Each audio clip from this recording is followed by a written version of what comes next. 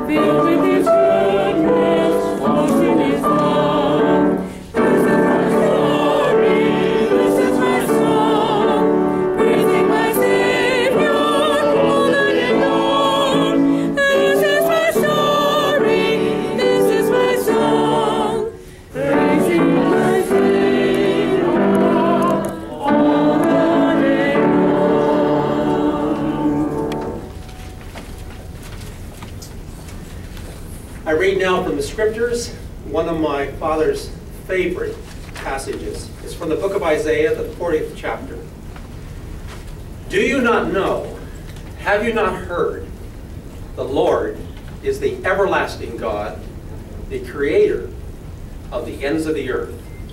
He will not grow tired or weary, and his understanding no one can fathom. He gives strength to the weary and increases the power of the weak. Even the youth grow tired and weary, and young people stumble and fall.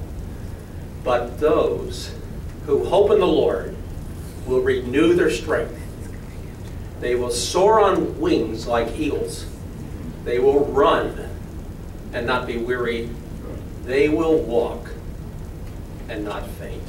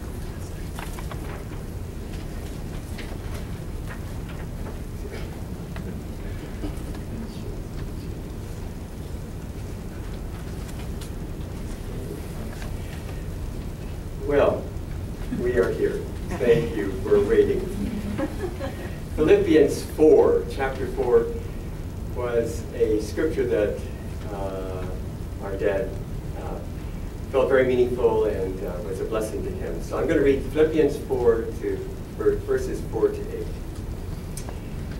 Rejoice in the Lord always, and I will say rejoice. Let your gentleness be known to everyone. The Lord is near. Do not worry about anything, but in everything, by prayer and supplication with thanksgiving, let your requests be known unto God. And the peace of God, which passes, which surpasses all understanding, will guard your hearts and minds in Christ Jesus. And finally, beloved, whatever is true, whatever is honorable, whatever is just, whatever is pure, whatever is pleasing, whatever is commendable, if there is any excellence, and if there's anything worthy of praise, think about these things. And keep on doing the things that you have learned and received and heard and seen in me. And the God of peace will be with you. Thank you for these words in Scripture. And may they be a blessing to all of us as we remember uh, Peter Van